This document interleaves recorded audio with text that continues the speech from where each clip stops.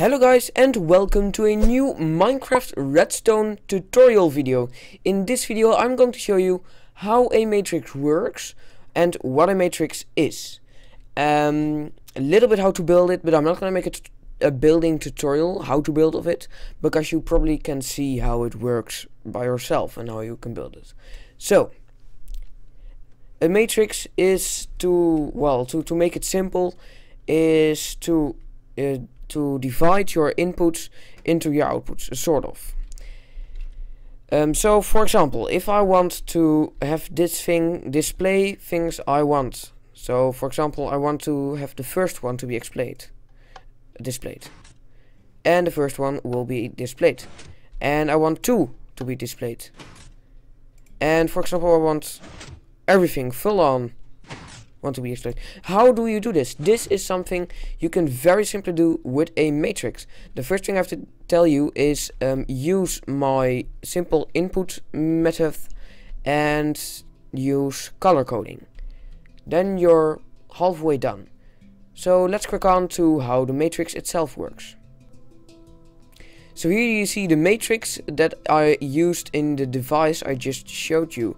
It's just a showing device. It's not really something special or something. Um, but you got all the inputs and you want to make some of them to be the outputs.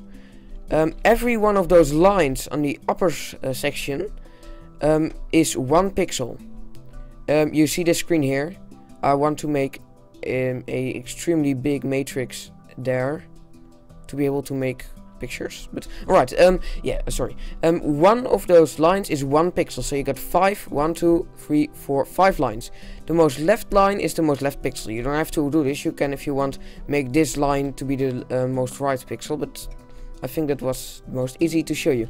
Um, every line is a different color, and the first thing I want to tell, uh, want to show you is, uh, for example, I want to have um, the middle thing, the middle free arm. So this is my output, my input I mean. It goes in here. If this line is just here and it's on or off, it won't be doing anything with the line above. But if you put a a block with a redstone torch beneath it, it will do something. So um, uh, this means um, you want everything on this side to be inverted uh, it should be always on. So this is off, your redstone torch is off if everything always is on and line is off and your pixels won't be showing. In this case, um, you got it. This line is got off because you pushed the lever down, and this one, this this um, torch has gone on. So this line has gone on, and the pixel on this line has gone on. That's that pixel there. And the same with this line and this line. But beneath this line, there won't be one of those. And beneath this line, there won't one of be one of those either. Um, you do have to think about uh, repeaters, um, because if you want to make a redstone current flow through a block, you or you want a repeater in front of it, or you want to a repeater on the other side of it. So in this case, it's in front. This thing will pick it up, and then it will go through here and this repeater will pick it up. You, If you put a redstone dot here, nothing will happen with it.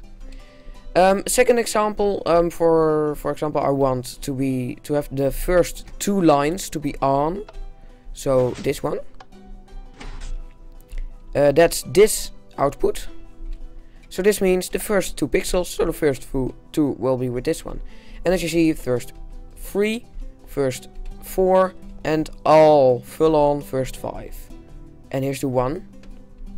And, and that's just very simply how it works. Um, another thing you can build with it is this big display. You can make all kinds of displays with it. This display, this display.